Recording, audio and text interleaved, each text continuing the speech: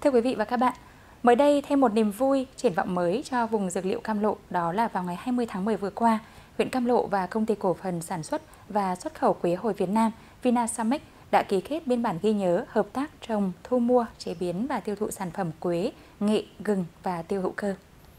Để đẩy nhanh kế hoạch trồng quế từ nay cho đến năm 2025 với 20.000 hecta như đã ký kết,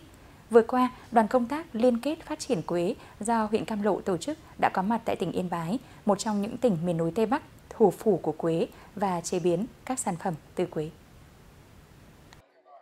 Địa điểm đoàn tham quan là nhà máy chế biến, chiết xuất tinh dầu quế của công ty cổ phần Vinasamex, các vườn ươm và mô hình trồng quế hữu cơ, các cơ sở chế biến, sơ chế các sản phẩm từ quế. Qua chuyến tham quan học tập kinh nghiệm, những gì mắt thấy, tai nghe được trải nghiệm làm bà con tâm đắc và đánh giá rất cao, mang lại nhiều lợi ích. Đây là những nội dung thiết thực, hữu ích, phù hợp để có thể áp dụng rộng rãi trong sản xuất quế tại địa phương, bắt tay cùng doanh nghiệp xây dựng vùng nguyên liệu đảm bảo phát triển bền vững cây quế tại huyện Cam Lộ. À, tìm hiểu uh, tại bản này thì tôi uh, cảm thấy uh, cây quế đối với uh, công ty rất uh, dễ dàng trồng và rất dễ dàng chăm sóc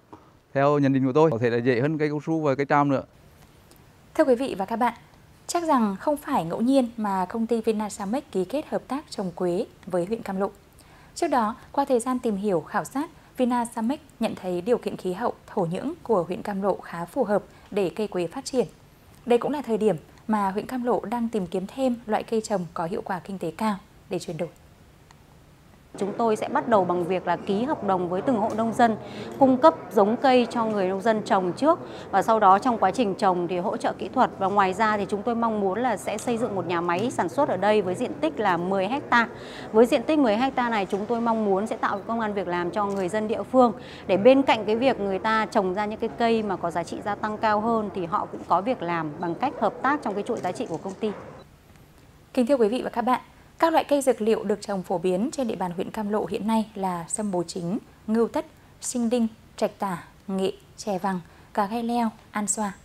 Vậy làm gì để cây dược liệu phát triển bền vững, trở thành trung tâm dược liệu của tỉnh Quảng Trị trong tương lai gần? Trong lộ trình xây dựng huyện nông thôn mới kiểu mẫu giai đoạn 2023-2025, huyện Cam Lộ xác định cây dược liệu là loại cây chủ lực. Vì thế, bên cạnh quy hoạch vùng nguyên liệu tập trung thì vấn đề quan trọng nhất là chế biến sâu, kết nối thị trường, tiêu thụ sản phẩm. Chúng tôi cũng mong muốn là kêu gọi thêm các cái doanh nghiệp khác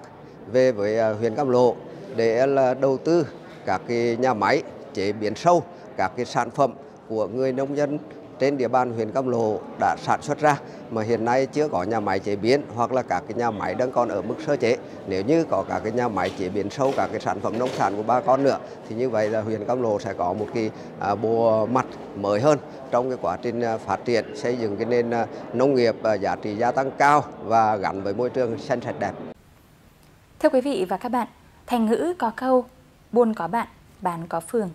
Trong xu thế sản xuất nông nghiệp hiện nay để có hiệu quả thì phải có liên kết để giải quyết đầu ra cho sản phẩm. Cách đây không lâu, đầu tháng 4 năm 2021, lãnh đạo huyện Cam Lộ đã hộ tống lô hàng một tấn cao dược liệu An Xoa vào thành phố Hồ Chí Minh để làm thủ tục xuất khẩu sang Mỹ, thu về 1,7 tỷ đồng.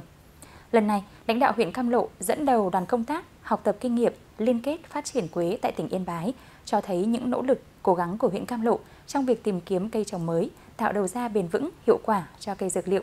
phần đấu trở thành trung tâm chế biến, sản xuất cây dược liệu của tỉnh Quảng Trị. Đến đây chúng tôi xin được kết thúc mục sự kiện và bình luận tuần này. Cảm ơn quý vị và các bạn đã dành thời gian theo dõi.